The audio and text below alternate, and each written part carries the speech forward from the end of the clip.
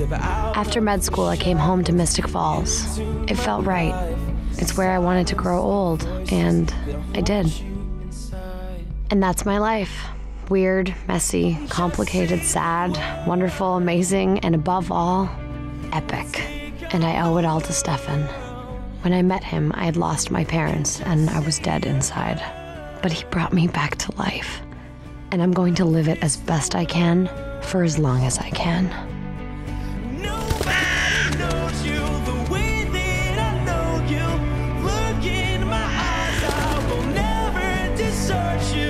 Just say the word. We'll take on the world. We'll take on.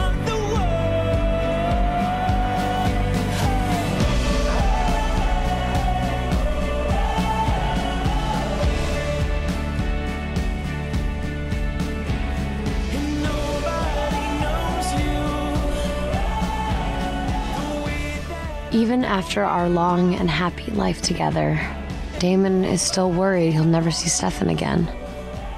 That he'll never find peace. But I know he's wrong.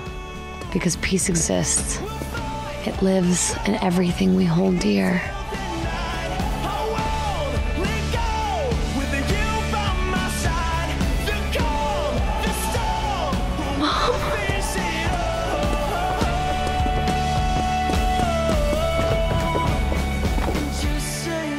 That is the promise of peace. That one day, after a long life, we find each other again.